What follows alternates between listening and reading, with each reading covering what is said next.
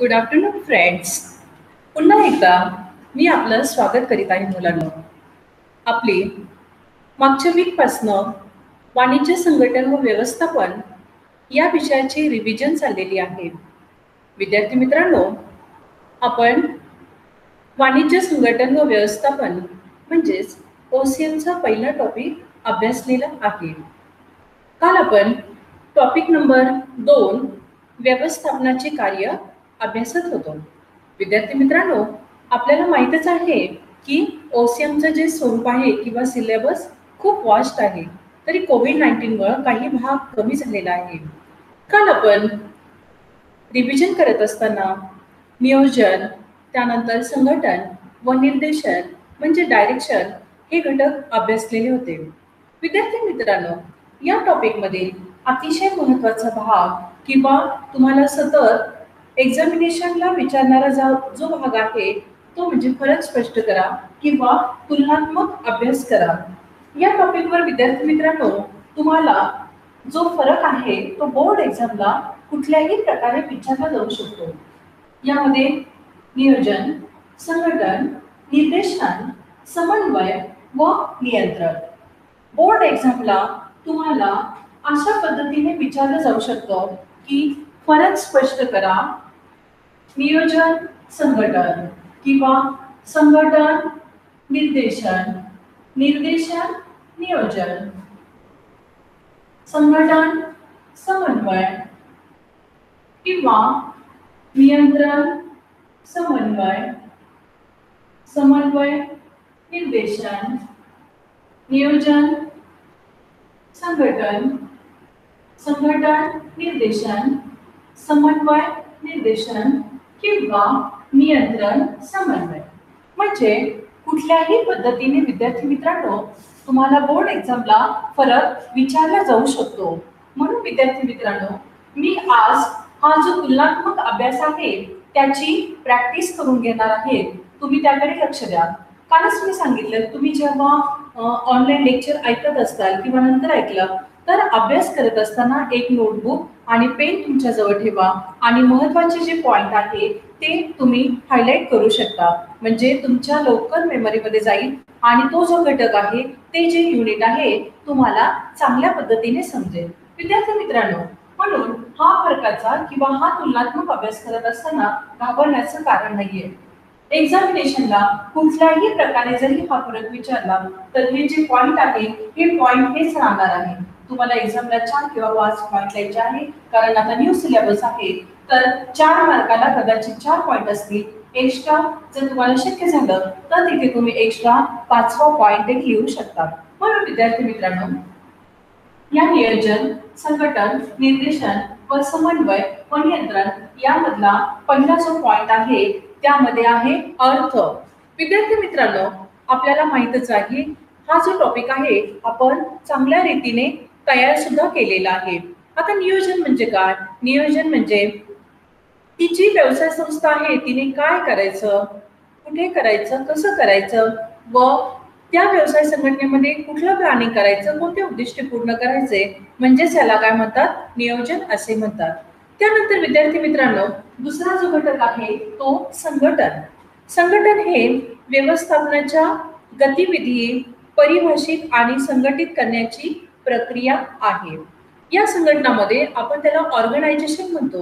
म्हणजे त्या व्यवसाय संघटनेची उद्दिष्टे पूर्ण करण्यासाठी त्यांना संघटित करावं लागतं ऑर्गनाईज करावं लागतं. मग या ठिकाणी विद्यार्थी मित्रांनो कच्चा माल असेल मनुष्यबळ असेल हे सर्व जे साहित्य आहे किंवा भांडवल आहे ते सुद्धा या उद्योजकाला गोळा करावं लागतं. म्हणून याला आपण संघटन असे म्हणतो.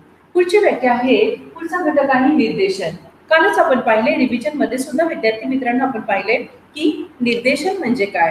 निर्देशन हे उद्दिष्टे साध्य करण्यासाठी कर्मचाऱ्यांना सूचना मार्गदर्शन संवाद साधून प्रेरित व प्रोत्साहित करण्याची प्रक्रिया आहे. म्हणजे या निर्देशनामध्ये त्या ऑर्गनायझेशनचे उद्दिष्ट साध्य करण्यासाठी जे कर्मचारी आहे जे युनिट आहे अधिकारी आहे त्यांना डायरेक्शन केलं जातं त्यांना सूचना केल्या जातात त्यांना मार्गदर्शन केलं जातं किंवा त्यांच्याशी संवाद साधला जातो. म्हणून याला काय म्हणतात? निर्देशन असे म्हणतात. पुढचा घटक आहे किंवा त्याच फरकामधला पुढे आहे समन्वय. समन्वय म्हणजे ठरवलेली उद्दिष्टे साध्य करण्यासाठी प्रयत्नांना एकत्रित करण्याचे कार्य आहे. ठरविलेले उद्दिष्टे. आपण पाहतो की कुठल्याही ऑर्गनायझेशनमध्ये त्यांच्या पुढे एम्स आणि ऑब्जेक्ट असतात. ते साध्य करण्यासाठी किंवा ते उद्दिष्टे ठरलेली आहे ते साध्य करण्यासाठी एकत्रित केलेल्या प्रयत्नांना समन्वय असे म्हणतात किंवा त्यालाच आपण इंग्लिशमध्ये कोऑर्डिनेशन असे म्हणतो. त्यानंतर पुढे नियंत्रणाचा अर्थ नियंत्रण हे प्रमाण कामगिरीपासून प्रत्यक्ष कामगिरीपर्यंत विचलन मोजते. आणि सुधारात्मक कृती घेते. आता नियंत्रण कुठल्याही ऑर्गनायझेशनमध्ये व्यवस्थापनाच्या कार्यामध्ये नियंत्रण हा शेवटचा घटक आहे अंतिम घटक आहे. म्हणजे त्या व्यवसाय संघटनेला त्या युनिटवर त्या ऑर्गनायझेशनमध्ये नियंत्रण ठेवावं लागतं. म्हणजे तुमच्या लक्षात आलं असेल विद्यार्थी मित्रांनो इथे तुमचा पहिला पॉईंट क्लिअर झालेला आहे अर्थ. नियोजन संघटन निर्देशन समन्वय व नियंत्रण यांचा आपण अर्थ अभ्यासलेला आहे. तुम्हाला मी आताच एक्सप्लेन केलं की एक्झामिनेशनला हा जो फरक आहे कुठल्याही पद्धतीने जरी विचारला नियोजन संघटन निर्देशन नियोजन तरी तुम्ही हा प्रत्येकाचा अर्थ तिथे लिहायचा आहे. म्हणजे या फरकामध्ये तुमचे सर्व पॉइंट जे आहेत ते क्लिअर झालेले आहेत. ओके चला. सेकंड पॉइंट आहे उद्दिष्टे. त्यालाच आपण एम्स किंवा ऑब्जेक्ट असं म्हणतो. आता उद्दिष्टामध्ये जो फरक विचारला असेल तुम्हाला नियोजन संघटन संघटन निर्देशन समन्वय संघटन नियंत्रण नियोजन याचे तुम्ही उद्दिष्टे द्यायचे आता आपल्याला माहीत आहे की नियोजनामध्ये ते जे ऑर्गनायझेशन आहे किंवा ती जी संस्था आहे तिचे उद्दिष्ट काय असतात? नियोजनाचं उद्दिष्ट काय आहे? मुख्य ध्येय ठरविणे आणि ते साध्य करण्याची साधने निवडणे. म्हणजेच ती संघटना मुख्य ध्येय निवडते व ते साध्य करण्यासाठी साधने निवडते म्हणून आपण याला नियोजनाचे उद्दिष्टे म्हणू शकतो. पुढे आहे संघटन. संघटनाचे उद्दिष्टामध्ये मुख्य उद्दिष्टे हे सर्व साधने ओळखून त्यांचे एकत्रीकरण करणे हे आहे. म्हणजे मुख्य उद्दिष्ट जे आहे ते ओळखून सर्व साधने ओळखून त्यांचं एकत्रीकरण करणे म्हणून त्याला आपण काय म्हणतो? संघटनाची उद्दिष्टे असे म्हणतो. पुढे निर्देशनामध्ये मुख्य उद्दिष्टे योग्य पद्धतीने काम पूर्ण होण्यासाठी कनिष्ठांना मार्गदर्शन देणे हे आहे. म्हणजे निर्देशनाच्या व्याख्येमध्येच आपण पाहिलेलं आहे की त्या कर्मचाऱ्यांना त्या युनिटमध्ये त्यांना मदत करणे मार्गदर्शन करणे त्यांच्याशी संवाद साधणे किंवा त्यांना सूचना देणे म्हणजेच आपण काय म्हणतो? निर्देशन. मग हे निर्देशनाच्या उद्दिष्टेमध्ये त्यांचे उद्दिष्ट आपल्याला सांगता येतील की मुख्य उद्दिष्टे योग्य पद्धतीने पूर्ण होण्यासाठी कनिष्ठांना मार्गदर्शन करण्याचं काम उद्दिष्टामध्ये सॉरी सम निर्देशनामध्ये येतं. त्यानंतर समन्वयाचे उद्दिष्टे सांगता येतील. मुख्य उद्दिष्ट कर्मचाऱ्यांच्या प्रयत्नांच्या एकतेतून संघटनेचे काम सुरळीतपणे करणे म्हणजे समन्वयाचे उद्दिष्ट होय. म्हणजे मुख्य उद्दिष्ट पूर्ण करण्यासाठी कर्मचाऱ्यांच्या प्रयत्नेतून त्या ऑर्गनायझेशनचं काम सुरळीतपणे चालणे म्हणजेच त्याला आपण समन्वय असे म्हणतो. नियंत्रणाचे उद्दिष्ट आपल्याला असे सांगता येतील विद्यार्थी मित्रांनो. मुख्य उद्दिष्ट म्हणजे नियोजनात ठरविल्याप्रमाणे ध्येय प्राप्त करणे. मुख्य उद्दिष्ट म्हणजे नियोजनामध्ये जे ध्येय सांगितलेलं आहे ते साध्य करण्यासाठी नियोजनात ठरविलेल्याप्रमाणे ध्येय प्राप्त करणे म्हणजेच नियंत्रणाची उद्दिष्टे होय. त्यानंतर विद्यार्थी मित्रांनो आपला थर्ड पॉइंट आहे कार्यक्षेत्र. यालाच आपण इंग्लिशमध्ये म्हणतो एरिया आता नियोजनामध्ये त्यांचं जे कार्यक्षेत्र आहे त्या कार्यक्षेत्रामध्ये आपल्याला असं सांगता येतील उद्दिष्टांची निवड करून ती साध्य करण्यासाठी उत्कृष्ट पर्यायी मार्ग निवडणे. म्हणजे जे उद्दिष्ट आहे त्यांची निवड करून योग्य किंवा उत्कृष्ट पर्यायी मार्ग निवडणे त्यालाच नियोजनाचे कार्यक्षेत्र म्हणतात.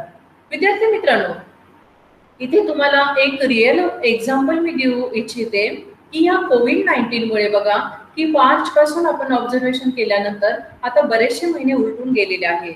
त्याच परिस्थितीमध्ये बारावीचा दहावीच्या बोर्डाचा रिझल्ट लागला विद्यार्थी मित्रांनी ऍडमिशन घेतली. त्यानंतर आला प्रश्न बारावीच्या मुलांचा. विद्यार्थी मित्रांनो आपल्याला माहीत आहे की आपल्या कॉलेजने किंवा महाराष्ट्र किंवा देशातील अनेक शाळा कॉलेजने ऑनलाईन सिलेबस लाईव्ह लेक्चर सुरू केलेले आहे.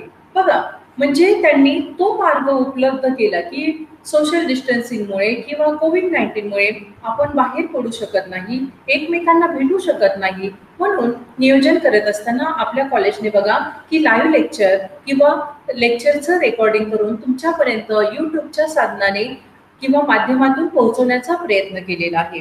म्हणजेच आपल्याला सांगता येतील की उत्कृष्ट असा पर्यायी मार्गाची निवड करणे हे नियोजनाचे कार्यक्षेत्र आहे. बघा आपल्या कॉलेजने तुमच्यासाठी खूप प्रयत्न केलेला आहे. आपले जे प्राध्यापक आहेत ते सुद्धा प्रत्येक जण घरी सुद्धा तयारी करून तुमच्यासाठी रेकॉर्डिंग करत आहात. तुम्हाला लाईव्ह लेक्चर देत आहेत जेणेकरून तुमचं अभ्यासाचं नुकसान होऊ नये. म्हणजे सांगायचं तात्पर्य असं आपण योग्य असा पर्याय निवडलेला आहे. कॉलेजने योग्य असा पर्याय निवडलेला आहे आणि त्या पर्यायाची निवड करून त्या पद्धतीने नियोजन केलेलं आहे. त्यानंतर विद्यार्थी मित्रांनो संघटनामध्ये कार्यक्षेत्रात सांगता येतील. कार्यक्षमता ओळखून गट तयार करणे त्यांना काम नेमून देणे व अधिकार व संबंध प्रस्थापित करणे. म्हणजे कार्यक्षेत्र त्या व्यक्तीची पात्रता त्याची ॲबिलिटी क्वालिफिकेशन पाहून त्यांचं गट तयार करणे आणि ते गट तयार केल्यानंतर त्या पद्धतीने त्यांना काम देणे हे संघटनाचं कार्यक्षेत्र आहे. त्यानंतर विद्यार्थी मित्रांनो पुढचा घटक आहे निर्देशन. निर्देशनाचं कार्यक्षेत्रामध्ये आपण सांगू शकतो की निर्देशनामध्ये नेमणूक निवड प्रशिक्षण बढती यांचा समावेश होतो. बघा यामध्ये त्या व्यक्तीची निवड केली जाते त्याला प्रशिक्षण दिलं जातं त्याला बढती दिली जाते प्रमोशन दिलं जातं. म्हणजे या पद्धतीने ते कामकाज करू शकतात. किंवा त्यांचं कार्यक्षेत्र आहे.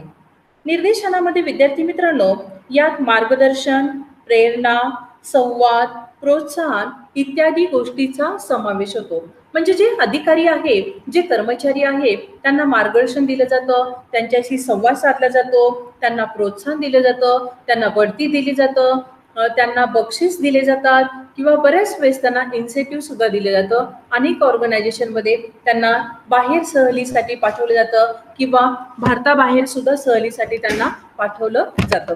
अशा रीतीने विद्यार्थी मित्रांनो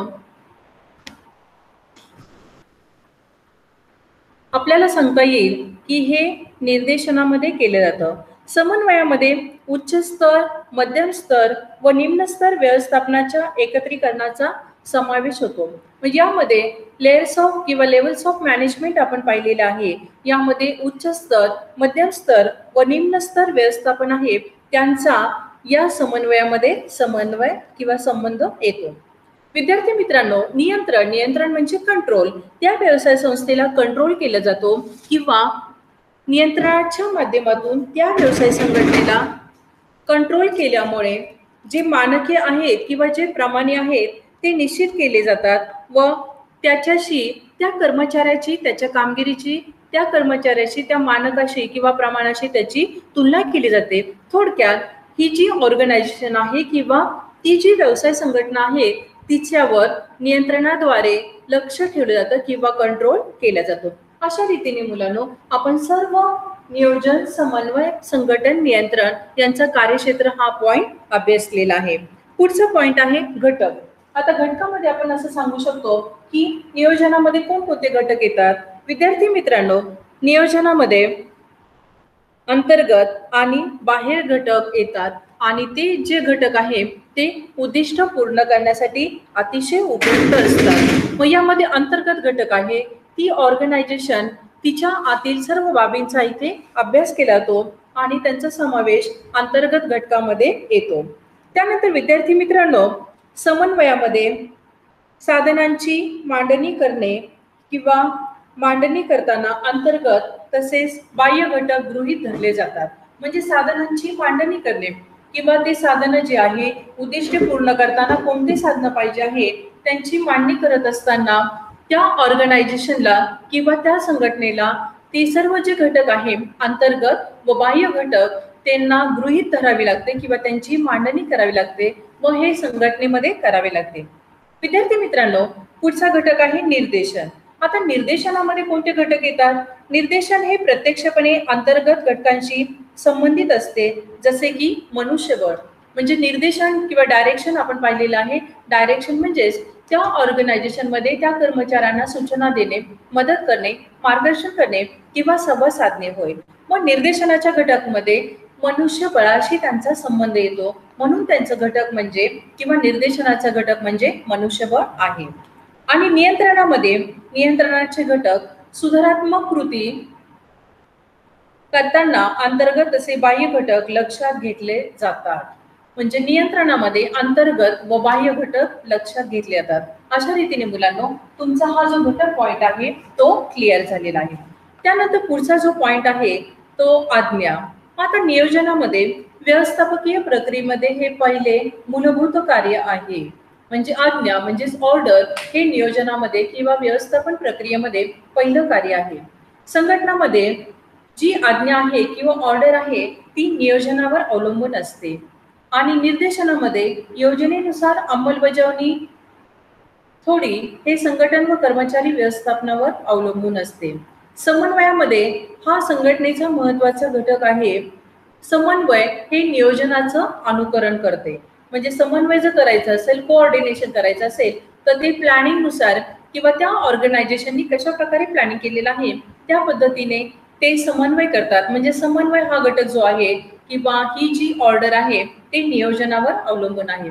नियंत्रणामध्ये हे व्यवस्थापन प्रक्रियेचं अंतिम कार्य आहे. सुरुवातीलाच मी सांगितलेलं आहे की व्यवस्थापन प्रक्रियेचं सुरुवातीचं कार्य कोणतं आहे? प्लॅनिंग किंवा नियोजन.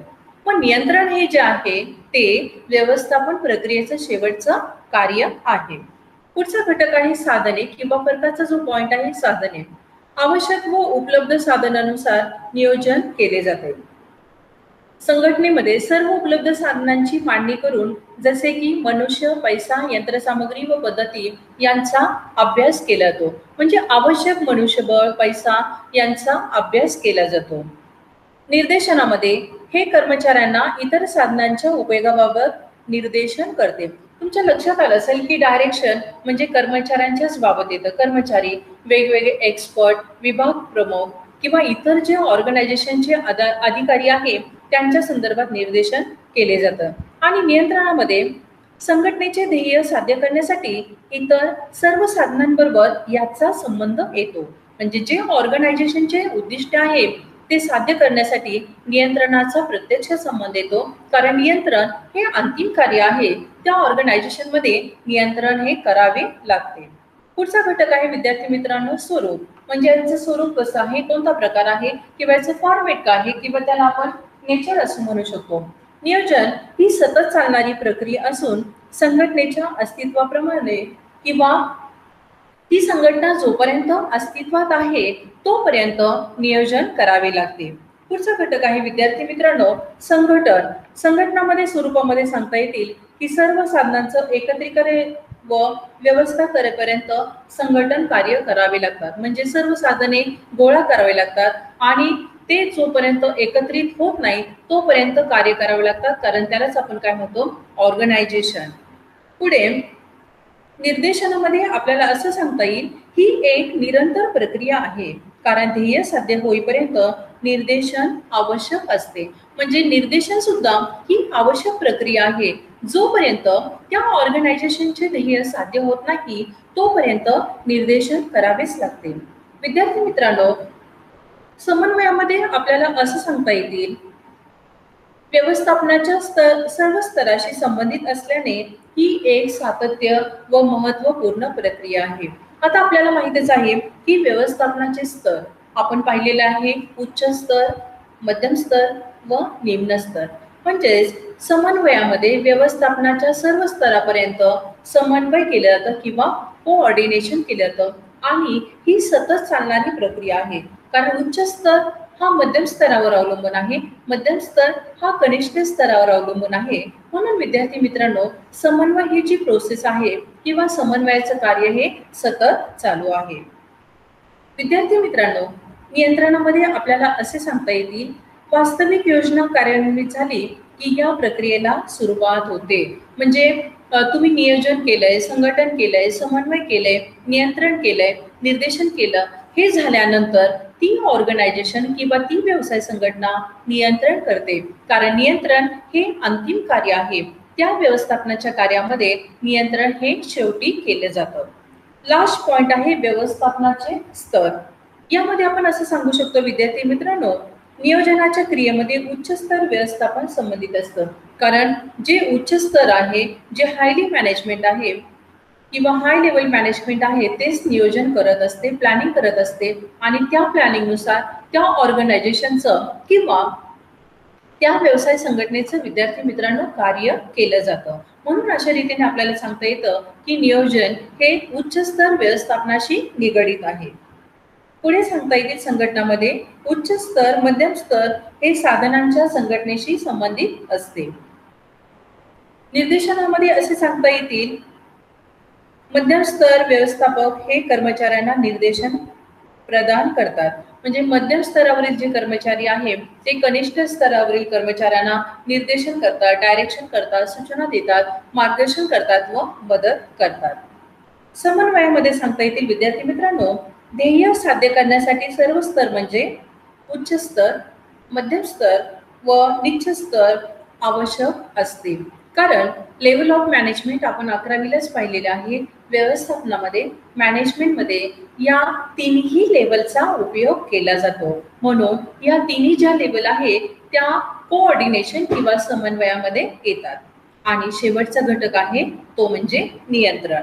नियंत्रणामध्ये उच्च स्तर मध्यम स्तर व्यवस्थापक हे कार्याच्या योग्य नियंत्रणासाठी जबाबदार असतात. म्हणजे कार्याच्या योग्य नियंत्रणासाठी जबाबदार असतात म्हणजे संस्थेने जे उद्दिष्ट साध्य केलेले आहेत ते उद्दिष्ट ठरल्याप्रमाणे पूर्ण झाले की नाही ते पाहण्याचं काम नियंत्रणामध्ये केलं जातं. कारण विद्यार्थी मित्रांनो तुम्हाला मी सांगितलंय किंवा मॅनेजमेंटमध्ये नियंत्रण हा शेवटचा घटक आहे आणि हा जो नियोजन आहे तो नियोजन हा प्रथम घटक आहे. प्लॅनिंग करत असताना हाय लेवल मॅनेजमेंट किंवा उच्च स्तर व्यवस्थापन नियोजन करतं आणि ते नियोजन झालं की नाही व्यवस्थित त्यांचं एम्स ऑब्जेक्ट पूर्ण झालं की नाही हे पाहण्याचं काम मुलांना नियंत्रण करत असते. त्यालाच आपण कंट्रोल असे म्हणतो. म्हणजे कुठल्याही मॅनेजमेंटमध्ये किंवा आपल्या घरामध्ये सुद्धा बघा आपण प्लॅनिंग करतो आपले आई वडील प्लॅनिंग करतात की तुम्हाला बारावी नंतर काय करायचं? किती पर्सेंटेज मिळाले पाहिजे? कुठला क्लास करायचा? कोणते पुस्तक वाचायचं? कशा रीतीने प्रिपरेशन करायचं? सी ए जर व्हायचं असेल तर तुम्ही डायरेक्ट सी एला ऍडमिशन घेऊ शकत नाही. त्यासाठी विद्यार्थी मित्रांनो तुम्हाला प्लॅनिंग करावं लागतं. बारावी झाल्यानंतर सीपीटी एक्झाम देता. सीपीटी पास झाल्यानंतर तुम्ही सी ए कोर्स करू शकता किंवा साईड बाय साईड तुम्ही बी कॉम सुद्धा करू शकता. म्हणजे हे झालं तुमचं प्लॅनिंग नियोजन आणि ते करत असताना तुम्हाला संघटन करावे लागतं. निर्देशन आहे समन्वय आहे आणि शेवटी नियंत्रण. म्हणजे यावर आपले जे पेरेंट्स आहे त्यांचं नियंत्रण असतं की बाबा तुम्ही ठरलेली जी उद्दिष्ट आहे ती साध्य झाली की नाही? तुम्ही बारावी चांगल्या पद्धतीने पास झाले की नाही? त्यानंतर बी कॉम सी ए म्हणजे जी आयुष्याची उद्दिष्ट आहेत ती साध्य झाली की नाही ते मोजण्याचं प्रमाण किंवा मानके म्हणजे नियंत्रण होय. अशा रीतीने विद्यार्थी मित्रांनो आपल्यासमोर हा तुलनात्मक अभ्यास आहे टॉपिक नंबर दोनचा मी सुरुवातीला सांगितल्या पद्धतीने तुम्हाला एक्झामला कुठलेही दोन घटक विचारले जातील. म्हणून अभ्यास करत असताना तुम्ही नियोजन संघटन निर्देशन समन्वय व नियंत्रण यांचे सर्व पॉइंटचा अभ्यास करा. किंवा विद्यार्थी मित्रांनो तुम्हाला जे पॉइंट सोपे वाटतील कुठलेही चार ते पाच पॉइंटचा तुम्ही अभ्यास करू शकता. कारण चार मार्कासाठी फरक विचारले जातील अशी शक्यता आहे. अकरावीच्या मागच्या सिलेबसला सुद्धा आपण चार मार्काला चार पॉइंट पाहत होतो. एक्स्ट्रा तुम्ही तुम्हाला वाटलं तर पाचवा तिथे लिहू शकता. थँक्यू अभ्यास करा घरी. टॉपिक टेस्ट चाललेल्या आहेत.